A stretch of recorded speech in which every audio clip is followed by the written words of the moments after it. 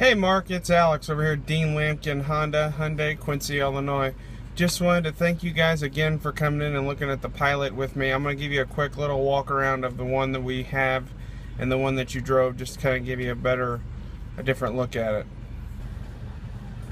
So starting here inside, the all new dash displays, tri-zone climate control,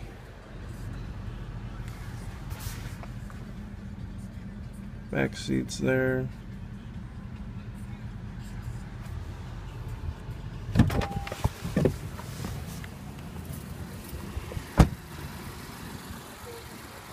Another look of the exterior here.